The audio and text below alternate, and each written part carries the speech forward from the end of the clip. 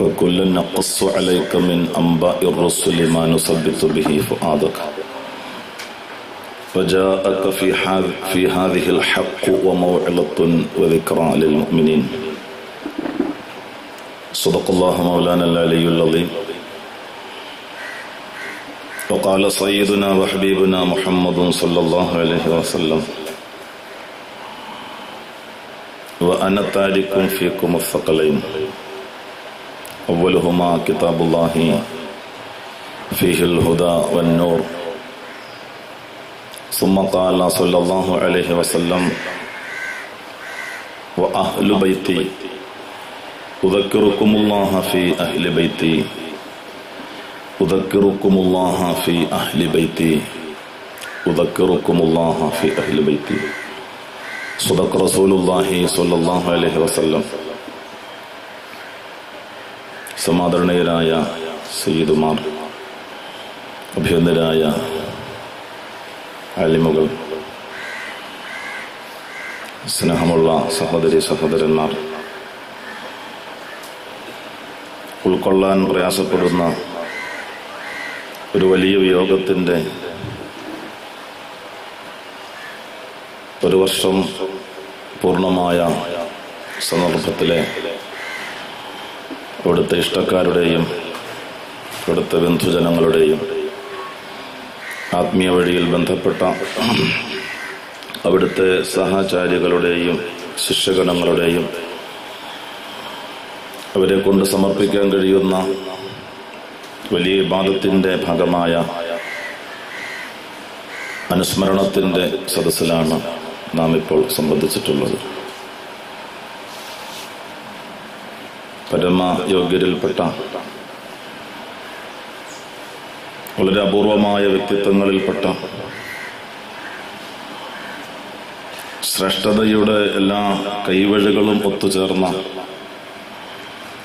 ബഹുന്നരായ ഷേഖുനായുടെ വിയോഗത്തിന്റെ ആണ്ടിൽ പങ്കെടുത്തുകൊണ്ട് ഏതെങ്കിലും ഒരർത്ഥത്തിൽ അത് ഉൾക്കൊള്ളാനും പാഠമാക്കി ജീവിതത്തിൽ പകർത്താനും നമുക്ക് അതിന് സാക്ഷിയാകേണ്ടി വരും എന്ന് പ്രതീക്ഷിച്ചവരല്ല നമ്മളാരും. അള്ളാഹു സുബാനുഭവത്താല ഇത്തരം സന്ദർഭങ്ങൾ ഏതെല്ലാം അർത്ഥത്തിലാണോ നാം സംഘടിപ്പിച്ചിട്ടുള്ളതും അതിൽ നാം സംബന്ധിച്ചിട്ടുള്ളതും ആ വലിയ ശ്രേഷ്ഠതകളും അർത്ഥങ്ങളും നമുക്കും ഭൗതിക ലോകത്ത് നിന്ന് നേരിട്ടുള്ള നമ്മുടെ നിയന്ത്രണത്തിൽ നിന്ന് ബഹുവന്യർ അകന്നുപോയെങ്കിലും ഭൗതിക ലോകത്തിന്റെ ആത്മീയ ലോകത്തിന്റെ മതതുകൾ അവിടുന്ന് നൽകി നമ്മളെ അനുഗ്രഹിക്കുകയും അള്ളാഹുതാല ഉന്നതമായ അവന്റെ വിധാനങ്ങളിൽ അവിടുത്തെ വസിപ്പിക്കുകയും ചെയ്യുമാറാകട്ടെ. നാമകമായി പ്രാർത്ഥിക്കുക. ഒരു അനുസ്മരണ പ്രഭാഷണത്തിന്റെ മാനസികാവസ്ഥയിലോ അതിന്റെ പ്രതീക്ഷയിലോ അതിന്റെ തയ്യാറെടുപ്പിലോ ഒന്നുമല്ല ഞാനിപ്പോൾ ഉള്ളത്. എന്നെ സംബന്ധിച്ചിടത്തോളം മാനസികമായി തന്നെ അത് ഇപ്പോഴും അസാധ്യമായിട്ടാണ് നിലനിൽക്കുന്നത്. സദസ്സുകളിൽ പരസ്യമായി തുറന്നു പറയാൻ പല നിലയ്ക്കും പലതരത്തിലുള്ള വ്യാഖ്യാനങ്ങൾ ചമച്ചേക്കാൻ ഇടയുള്ളതുകൊണ്ട് നമുക്ക് പ്രയാസമുള്ള തരത്തിലുള്ള പല അനുഭവങ്ങളും ഷേഖനായുമായി ബന്ധപ്പെട്ട് നമുക്ക് പലർക്കും അവതരിപ്പിക്കാനും പറയാനും ഉണ്ടാകും. അത്ര അഗാധമായ പൂർണമായ വസ്തുതകളുടെ ആഴങ്ങളിലേക്ക് ഇറങ്ങിച്ചെന്ന വ്യക്തികളെ സൂക്ഷ്മമായി മനസ്സിലാക്കിയ വലിയ വ്യക്തിത്വമായിരുന്നല്ലോ അവിടുത്തേത്. ഏകദേശം ഒരു ഇരുപത് വർഷമെങ്കിലുമായി ഒരു സന്ദർശകൻ എന്നുള്ള നിലയിലുള്ള ബന്ധം മാത്രമാണ് എനിക്കുള്ളത്. ഈ ഗണത്തിൽപ്പെട്ട പലരെയും സന്ദർശിക്കുമ്പോഴും സന്ദർശിക്കപ്പെടുന്ന ഉന്നത വ്യക്തിത്വങ്ങൾ ആളുകൾ ആദരിക്കുകയും ആളുകൾ അംഗീകരിക്കുകയും പല അർത്ഥത്തിലും സ്വീകരിക്കുകയും ചെയ്യുന്ന ഉന്നത വ്യക്തിത്വങ്ങളെല്ലാം ആദ്യത്തെ സന്ദർശനത്തിൽ തന്നെ നമ്മളോട് ചിലത് ആവശ്യപ്പെടുകയും ചില പ്രവാഹങ്ങളിൽ കണ്ണിയാകാൻ ചില ചങ്ങലകളിൽ കണ്ണിയാകാൻ ഒന്നെങ്കിൽ പ്രത്യക്ഷത്തിലോ അല്ലെങ്കിൽ പരോക്ഷത്തിലോ ഒക്കെ ആഹ്വാനം ചെയ്യുകയോ ആവശ്യപ്പെടുകയോ ഒക്കെ ചെയ്യുന്നത് ഈ ചെറിയ കാലത്തിനുള്ളിൽ എന്നെ പോലുള്ള പലർക്കും ബോധ്യമായിട്ടുള്ള കാര്യമാണ്. എവിടെയാണ് തങ്ങൾ നയിച്ചുകൊണ്ടിരിക്കുന്ന തങ്ങൾ എന്ന് ഞാൻ പറയുന്നത് താന്താങ്ങൾ എന്നുള്ള അർത്ഥത്തിലാണ്. അങ്ങനെ പോലും പറയാൻ ഇപ്പോൾ എന്നെ കൊണ്ടാകുന്നില്ലാത്തതുകൊണ്ട് താന്താങ്ങൾ നയിച്ചുകൊണ്ടിരിക്കുന്ന ആ സരണിയെ പുറത്തുനിന്ന് മറ്റുള്ളവർ മാറ്റുരയ്ക്കുന്നതും മാനദണ്ഡമായി വിലയിരുത്തുന്നതും. അങ്ങനെ വിലയിരുത്താൻ വേണ്ടി വന്നവരിൽപ്പെട്ടവരല്ലെങ്കിലും ഒരിക്കലും നമ്മുടെ മഹാന്മാരായ ഉസ്താദുമാരുടെ ഭാഷയിൽ പറഞ്ഞാൽ അങ്ങാടി മരുന്നിന്റെ വിപണനം പോലെയോ അമ്മയൊത്താനുണ്ടോ എന്ന് ചോദിച്ചുകൊണ്ട് നടന്ന്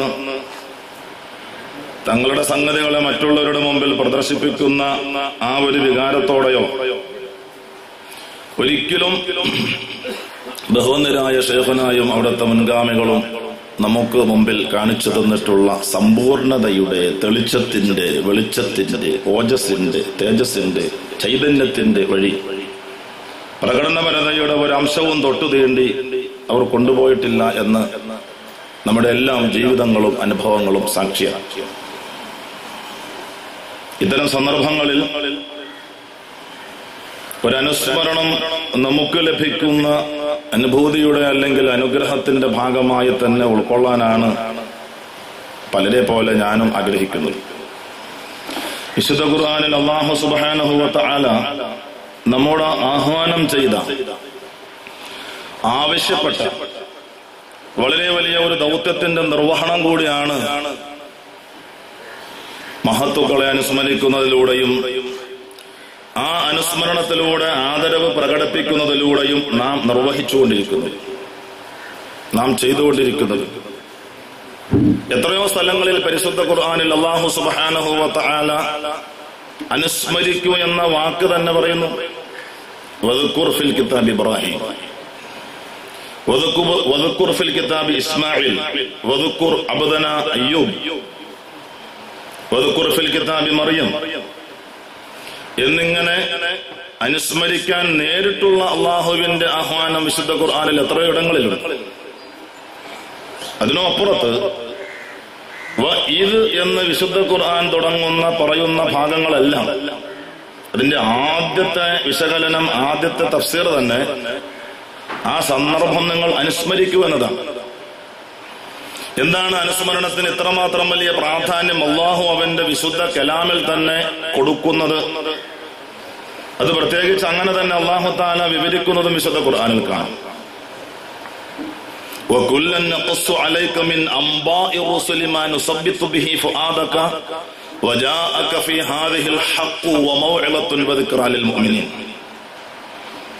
ആദരമായ നബിയെ കഴിഞ്ഞുപോയ ജനസമൂഹങ്ങളുടെ നായകരായി കടന്നു വന്ന നബിമാരിൽ മുറസലുകളിൽ എല്ലാവരുടെയും തന്നെ കഥകൾ ചരിത്രങ്ങൾ അങ്ങേക്ക് നാം കഥിച്ചു തരുന്നത് അവതരിപ്പിച്ചു തരുന്നത് അവിടുത്തെ പരമസമ്പൂർണമായ ഹൃദയത്തിന് ഇനിയും സ്ഥൈര്യമുണ്ടാകുവോളം ഒരളവിൽ ഈ ചരിത്രങ്ങളിലേക്കെല്ലാം അങ്ങയെ നാം കടത്തിക്കൊണ്ടുപോകുന്നത്. അള്ളാഹുതാല പറയുന്നു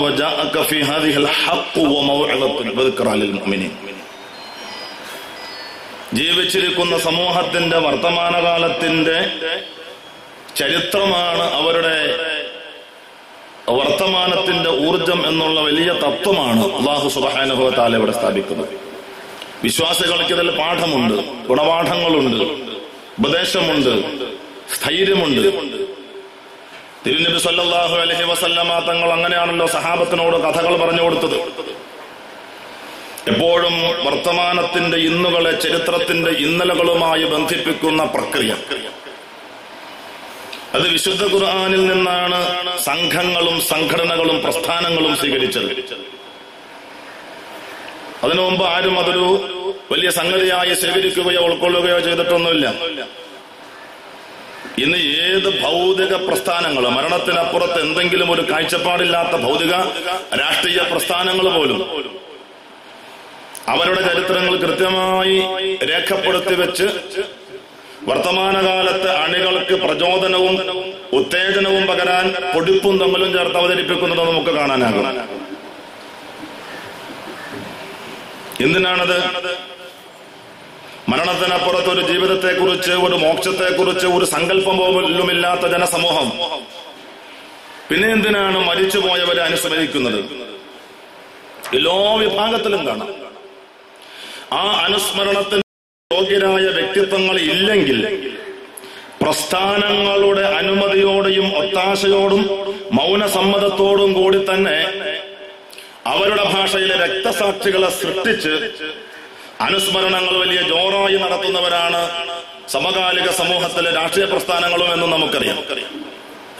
വലിയ നഷ്ടങ്ങളായി പറയുമ്പോഴും രാഷ്ട്രീയത്തിന്റെ കൊയ്ത്തിന്റെ മേഖലയിലെ വലിയ ലാഭങ്ങളായിട്ടാണ് അണികളിൽ ആരെങ്കിലും നഷ്ടപ്പെട്ടു പോയാൽ അവർ മനസ്സിലാക്കുന്നത്.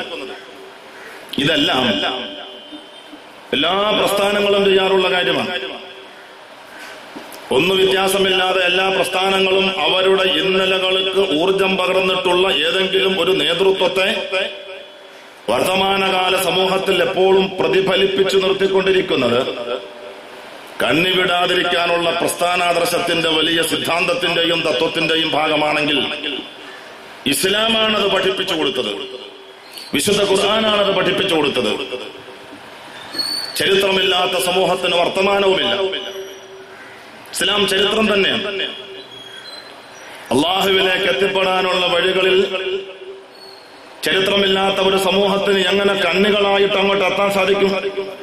ഒരാളും ഒറ്റയ്ക്ക് ഒരിടത്തും ജയിച്ചിട്ടില്ല.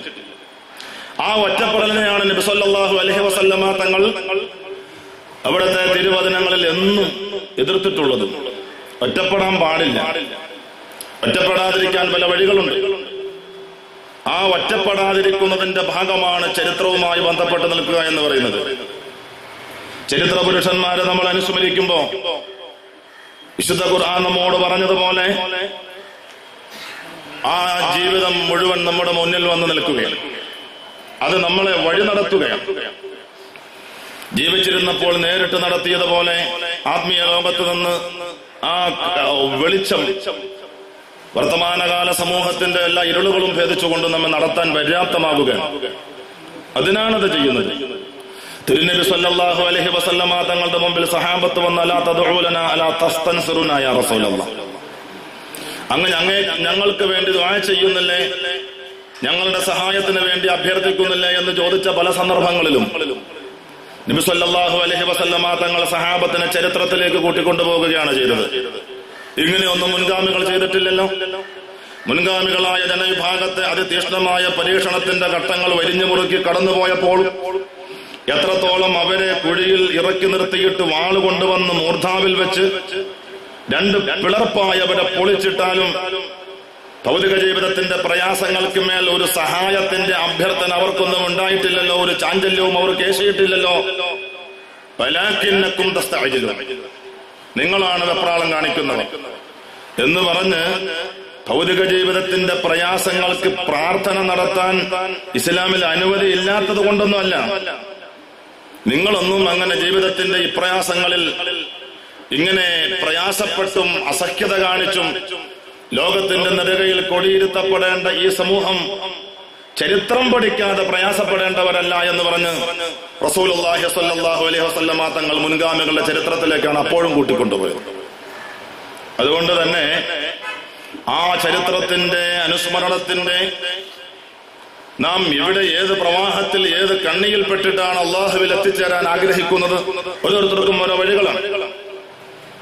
അതിന്റെ ഭാഗമായിട്ടുള്ള വലിയ ദൗത്യമാണ് നാം അനുസ്മരണത്തിലൂടെ നിർവഹി നിർവഹിച്ചുകൊണ്ടിരിക്കുന്നത്. അള്ളാഹു സുബാനുഭവത്താല നാം അനുസ്മരിക്കുന്ന ഷെയ്ഖുന അടക്കമുള്ള അവിടെ നിന്ന് അങ്ങോട്ട് സമീപകാലത്തായതുകൊണ്ടാണ് നമ്മെ കൂടുതൽ അത് ഗ്രസിക്കുന്നതും മധിക്കുന്നതും അവിടെ നിന്ന് അങ്ങോട്ടുള്ള നമ്മുടെ മുൻഗാമികളെല്ലാം നമുക്ക് കാണിച്ചു തന്ന മഹത്തായ വഴികളിലൂടെ ആ വെളിച്ചത്തിലൂടെ നടന്ന് വിജയത്തിലെത്താൻ അള്ളാഹു താല നമുക്ക് തൗഫീക്ക് നൽകുമാറാകട്ടെ എന്ന് ഈ സമയത്ത് പ്രാർത്ഥിക്കുകയാണ്. അള്ളാഹു താല കബൂലാക്കുമാറാകട്ടെ. സഹോദരന്മാരെ ഒരു ഹദീസിന്റെ ഭാഗം കൂടി ഇവിടെ ഓതുവെച്ചിരുന്നു സഹീഹ് മുസ്ലിമിലെ വളരെ പ്രസക്തമായ ഒരു ഹദീസ്. നമ്മുടെ നാടുകളിൽ സാധാരണമായി പ്രത്യേകിച്ച് ഈ പ്രദേശങ്ങളിലൊക്കെ പുതിയ ഇസ്ലാമിലേക്ക് ആളുകളെ ക്ഷണിക്കാൻ വേണ്ടി വരുന്ന ആളുകൾ നാഴികയ്ക്ക് നാൽപ്പത് വട്ടം വിളിച്ചു പറയാറുള്ള ഇത്രത്തോളം സിഹത്ത് നമുക്ക് പറയാൻ കഴിയാത്ത ചില ഹദീസുകൾ. നിങ്ങൾ ഞാൻ വിട്ടേച്ചു പോകുന്നത് നബി സല്ലല്ലാഹു അലൈഹി വസല്ലമ തങ്ങൾ പറഞ്ഞു ഞാൻ നിങ്ങൾക്ക് വിട്ടേച്ചു പോകുന്ന രണ്ട് സംഗതികൾ. ബിഹിമ. മുറുകെ പിടിച്ചാൽ നിങ്ങൾ ഒരു കാലത്തും പിഴയ്ക്കാത്ത രണ്ട് മഹാസംഗതികൾ നിങ്ങൾക്ക് ഞാൻ വിട്ടേച്ചു പോകുന്നുവെന്ന് തിരുനബി സല്ലല്ലാഹു അലൈഹി വസല്ലമ തങ്ങൾ സഹാബത്തിനോട് ഹജ്ജത്തുൽ വദാഇൽ പറഞ്ഞ ആ ഹദീസ്. ഇമാം മാലിക് റളിയല്ലാഹു തആല അൻഹു ഇമാം ബൈഹഖി ഒക്കെ റിവായത്ത് ചെയ്യുന്ന ഹദീസ്. ഹദീസിന്റെ ബലാബല പരിശോധനയിൽ നമുക്ക് അസ്വീകാര്യമാണെന്ന് ഒരിക്കലും നമ്മൾ പറയാത്ത ആ ഹദീസ്. ആ ഹദീസ് അവിടെ വെച്ചുകൊണ്ട് ഖുർആാനും ഹദീസും നോക്കിയിട്ടാണ് ഓരോ മനുഷ്യനും ജീവിക്കേണ്ടത് എന്ന് പറഞ്ഞ് ആളുകളെ തെറ്റിദ്ധരിപ്പിക്കുന്നതിന് വേണ്ടി ശ്രമിക്കുന്ന ആളുകൾ സഹീഹ് മുസ്ലിമിലെ സമാനമായ അതേ സന്ദർഭത്തിൽ നിബിസല്ലാഹു അലഹി വസല്ലമ തങ്ങൾ ഹജ്ജത്തുൽ വദായിൽ തന്നെ കൊടുത്ത ആ വലിയ ആഹ്വാനത്തിന്റെ വളരെ സഹീഹായ ഒരു ഹദീസ് വനപൂർവം ബോധപൂർവം മറച്ചു വെക്കുകയാണ്. ദീർഘമായ ഹദീസാണ്. അടുത്ത വർഷം ഞാൻ നിങ്ങളോടൊപ്പം ഉണ്ടാകുകയില്ല എന്ന് പറഞ്ഞുകൊണ്ട് തന്നെ നബി സല്ലല്ലാഹു അലൈഹി വസല്ലമ തങ്ങൾ പറഞ്ഞത്. ഞാനില്ലെങ്കിലും വേണ്ടേ പകരം? ഞാനില്ലെങ്കിലും പിഴയ്ക്കാതെ പിടിച്ചു നിൽക്കാൻ നിങ്ങൾ കത്താണ് വേണ്ടേ? കണ്ണിമുറിയാതെ ക്യാമത്ത് വരെ ഈ സമൂഹം മുന്നോട്ട് പോകണ്ടേ? അതുകൊണ്ട് ഞാൻ പോയാലും നിങ്ങൾക്ക് പിടിച്ചു നിൽക്കാനുള്ളത് ഞാൻ തന്നിട്ടാണ് പോകുന്നത് എന്ന് നബി സല്ലല്ലാഹു അലൈഹി വസല്ലമ തങ്ങൾ പറഞ്ഞപ്പോ ഒന്നാമതായി പറഞ്ഞത് അള്ളാഹുവിന്റെ വിശുദ്ധ കലാം വിശുദ്ധ ഖുർആനാണ്. കുറച്ച് ഭാഗം അവിടെയുണ്ട്.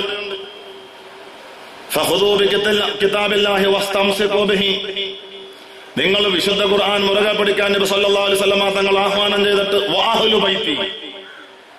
രണ്ട് മഹാസംഗതികൾ പിഴയ്ക്കാതെ പിടിച്ചു നിൽക്കാൻ നിങ്ങൾക്ക് രണ്ട് മഹാസംഗതികൾ തന്നേച്ചു പോകുന്നു എന്ന് പറഞ്ഞെടുത്ത് ബൈത്തി എന്ന് പറഞ്ഞു നിർത്താതെ ഉദക്കിറുക്കുമുല്ലാഹ ഫിയ ബൈത്തി.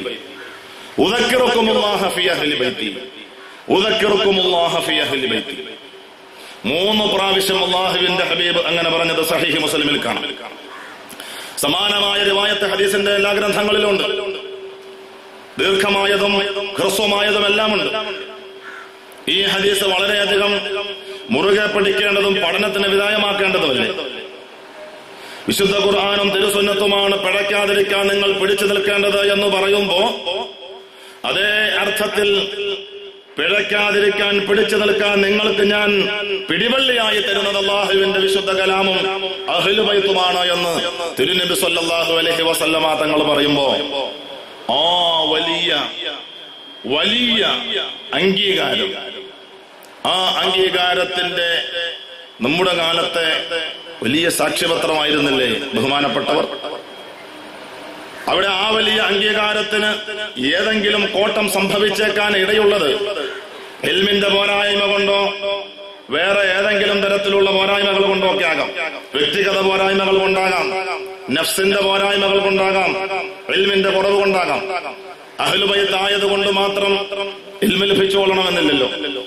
നഫ്സിന്റെ പോരായ്മകൾ ആരും തന്നെ മോചിതരമല്ലല്ലോ. അവിടെയും എവിടെയാണ് ഒരു മനുഷ്യനെ ശുദ്ധീകരിക്കാൻ വിമലീകരിക്കാൻ ആദ്യമുണ്ടാകേണ്ടത് എന്താണ്? ആ ആദ്യമുണ്ടാകേണ്ട എൽമിന്റെ വഴിയിൽ സാധ്യമാകുന്നിടത്തോളം സമ്പൂർണത നേടിയ മഹത്തായ ഒരു വ്യക്തി. അതെല്ലാം ഉണ്ടാകുമ്പോഴും മനുഷ്യന്റെ ഇച്ഛകൾക്കും നഫ്സിന്റെ ആധിപത്യത്തിനുമെതിരെ ഇതെല്ലാം ഉള്ളപ്പോഴും മനുഷ്യൻ പിടിച്ചു നിൽക്കാൻ കഴിയാതെ പതറിപ്പോകുന്നിടത്താണല്ലോ നമ്മുടെ സരണിയുടെ പ്രസക്തി നിലനിൽക്കുന്നത്.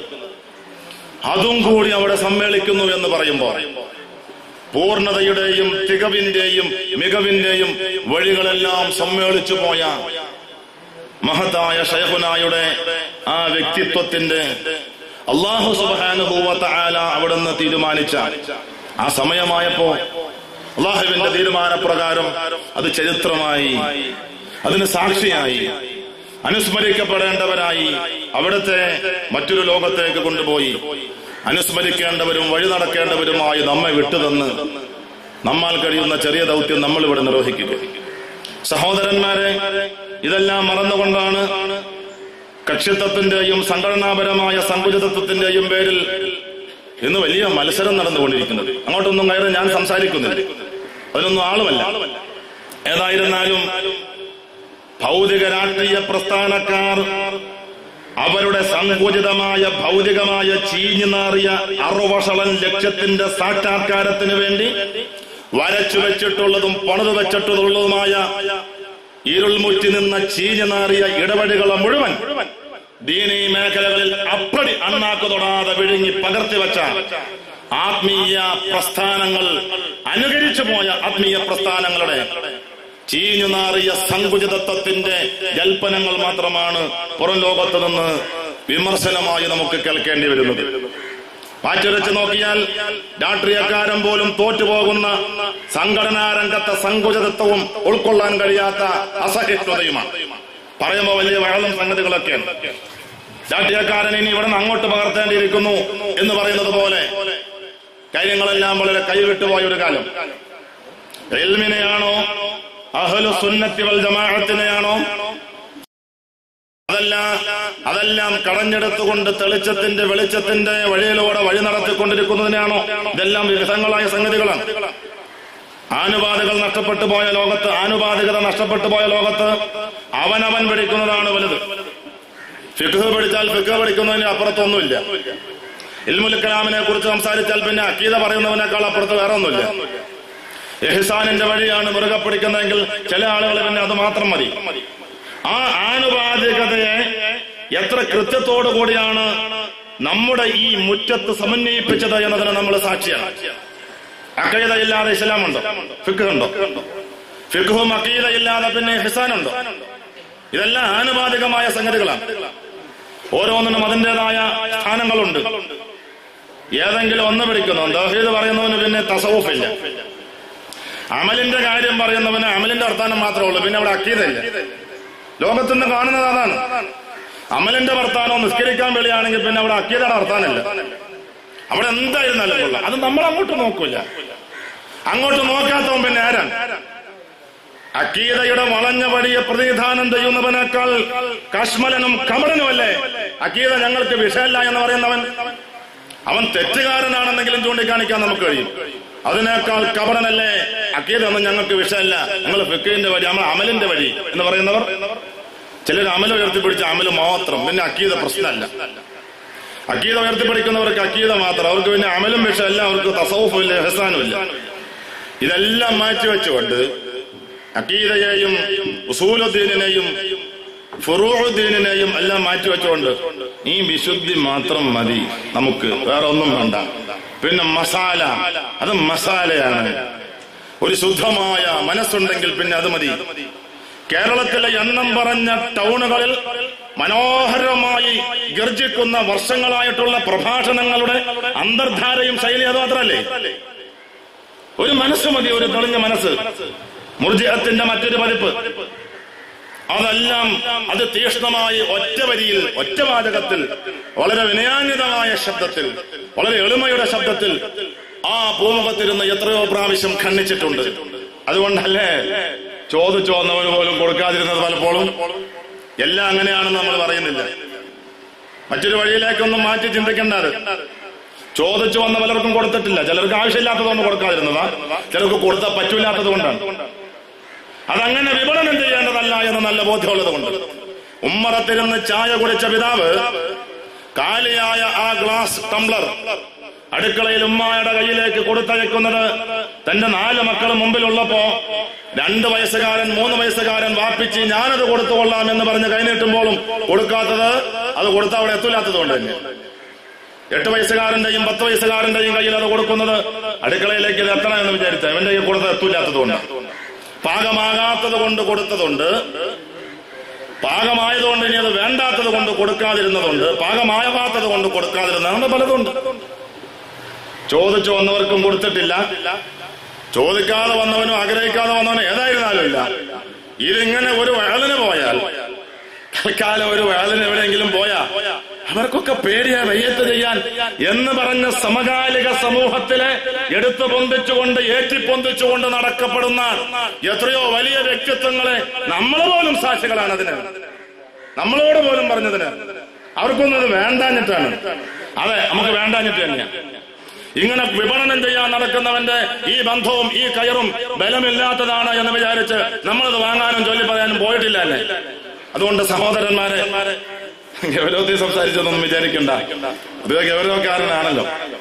എന്റെ പ്രിയമുള്ള പണ്ഡിത സഹോദരന്മാരെ അതുകൊണ്ട് എൽമിന്റെയും ബൈത്ത് എന്ന് പറയുന്ന വലിയ പാശത്തിന്റെയും എഹ്സോനിന്റെ നിറവിന്റെയും ആ വഴികൾ മുഴുവൻ സമന്വയിപ്പിച്ച് വിപണനം ചെയ്യാത്ത പരസ്യം ചെയ്യാത്ത ഇൽമുൽ കലാമിനെയും ഫിഖിനെയും ശരിയാത്തിനെയും ഇഹസാനിനെയും ആ ആനുപാതികതയെ തന്നെ സമന്വയിപ്പിച്ചുകൊണ്ട് മുന്നോട്ട് പോയ ഒരു വലിയ പാരമ്പര്യത്തിന് എങ്ങനെയെങ്കിലും നെഞ്ചേറ്റാനും ബന്ധപ്പെടാനും കഴിഞ്ഞു എന്നതിൽ നമ്മളും കൈപിടിക്കാൻ ആരെങ്കിലും ഉണ്ടാകുമെന്ന് പ്രതീക്ഷിച്ച് മാത്രം ആശ്വസിക്കുന്നവരാണ് മഹാനായ സയ്യിദ് ബിൻ സാബിത്ത് റളി അള്ളാഹു താലാനു ഞാൻ അവസാനിപ്പിച്ചത് ഫറായിലിന്റെ ബാബിൽ ഏറ്റവും വലിയ അലിമായിരുന്ന സഹാബി കൂടിയാണല്ലോ.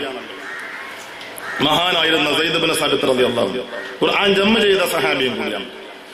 ഇബിൻ അബ്ബാസ് റളി അള്ളാഹു തആല അൻഹുമാ മഹാനവറുകൾ കയറിയ വാഹനത്തിന്റെ രിക്കാബ്. രിക്കാബ് എന്ന് പറഞ്ഞാൽ പഴയ കാലത്തെ മൃഗവാഹനത്തിൽ അതിന്റെ പുറത്തേക്ക് ചവിട്ടി കയറാനുള്ള ഈ ഷവ്വലിന്റെ പെരി പോലെയുള്ള ഒരു സാധനം. അതാണ് രിക്കാബ് എന്ന് പറയുന്നത്. ഈ സിമന്റ് കുത്തി കോരുന്ന ഷവ്വലിന്റെ പെരി പോലുള്ള സാധനം. അതിൽ പിടിച്ചു മഹാനവറുകൾ.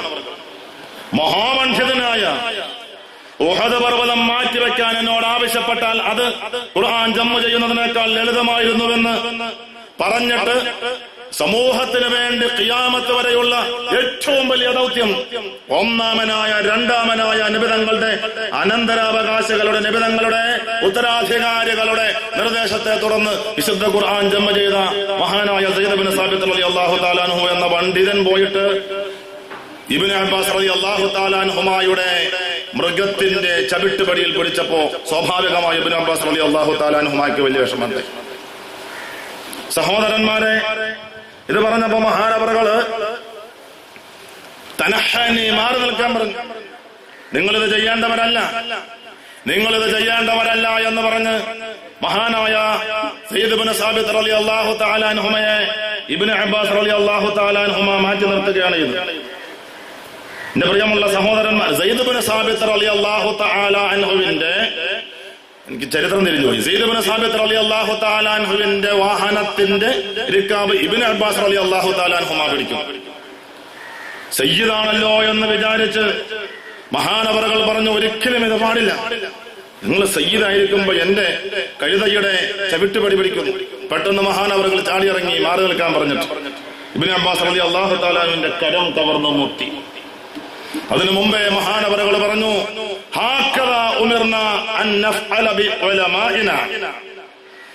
മഹാനായ ഇബ്നു അബ്ബാസ് റളിയല്ലാഹു തആല താലാൻഹുമ ആ ചവിട്ട് പടി പഠിക്കുമ്പോ മാറി നിൽക്ക് സയ്യിദുമാർ എങ്ങനെ ഞങ്ങളെ ആദരിക്കല്ല? എന്ന് പറഞ്ഞപ്പോ ഹാക്കറ ഉമിർന അൻ നഫ്അല ബി ഉലമാഇന. പണ്ഡിതന്മാരെ ഇങ്ങനെ ആദരിക്കാനാണ് ഞങ്ങൾ കൽപ്പിക്കപ്പെട്ടിട്ടുള്ളത് എന്ന് ഇബിന് അബ്ബാസ് അലി അള്ളാഹു താല അനുഹുമ പറയണമെങ്കിൽ ആ കൽപ്പന അവിടെ ആരാണ്? ആമിർ. വസല്ലം തങ്ങൾ ചാടി ഇറങ്ങി സയ്യിദ് ബിൻ അള്ളാഹു മഹാനവറുകൾ ചാടി ഇറങ്ങിയിട്ട് ഇബിന് അബ്ബാസ് അലി അള്ളാഹു താലാൻഹുമായുടെ കരം കവർന്നു മുത്തി. അവിടുന്ന് എന്താണ് ചെയ്യുന്നത് എന്ന് ചോദിച്ചപ്പോൾ പറഞ്ഞു ഹാക്കദ ഉമിർന അൻ നഫ്അല ബി അഹ്ലി ബൈത്തി റസൂലിന സ്വല്ലല്ലാഹു അലൈഹി വസല്ലം. അഹ്ല ബൈത്തിനോട് ഇങ്ങനെ പെരുമാറാനാണ് ഞങ്ങളും കൽപ്പിക്കപ്പെട്ടിട്ടുള്ളത് എന്ന് മഹാനായ ദൈദബിന് സ്ഥാപിത്ത് റളിയല്ലാഹു തആലാൻഹുമാ പറഞ്ഞത്. പ്രമാണങ്ങളിൽ ചരിത്രത്തിലൊക്കെ രേഖപ്പെട്ട് കിടക്കും. ഈ വഴികളൊക്കെ നമ്മൾ മറന്നു. മഹാനായ ഇമാമിന് ഷാഫി റളിയല്ലാഹു തആല അൻഹുവിനെ കാണാൻ മഹാനായ അഹമ്മദ് ബിൻ ഹംബൽ അലി അള്ളാഹു താലാൻ ഉസ്താദി ശിഷ്യനാണല്ലോ. വന്നിട്ട് കടന്നു പോകുമ്പോ ഷാഫി ഇമാം വന്നിട്ട് പോകുമ്പോ എന്താ തിരിഞ്ഞു പോകുന്നു ഷാഫി ഇമാം അലി അള്ളാഹു താലാൻഹു വന്നിട്ട് പോകുമ്പോ അഹമ്മദ് ബിൻ ഹംബൽ അലി അള്ളാഹു താലാൻഹു ഇതേ പ്രകാരം നിർവഹിച്ചു. ഷാഫി ഇമാം റലി അള്ളാഹു തആലാനുവിന്റെ കോവർ കഴുതയുടെ പുറത്തേക്ക് കയറാനുള്ള ചവിട്ടുപടി പിടിച്ചതിനെ കുറിച്ച് ഇമാം ബുഖാരി റലി അള്ളാഹു താലാൻഹുവിന്റെ ഉസ്താദന്മാരുടെ കാലത്ത് ഷാഫി എന്നാ ചോദിച്ചത്? ഷാഫി ഇമാമിന്റെ കോമർ കവിതയുടെ ഓരം വെച്ച് നടക്കേണ്ട ഒരു ഗതികേട് ഒരവസ്ഥ അങ്ങേക്ക് വന്നോ എന്നാ ചോദിച്ചത്? ഒരു പക്ഷെ അറിയാൻ വേണ്ടി ചോദിച്ചതായിരിക്കാം.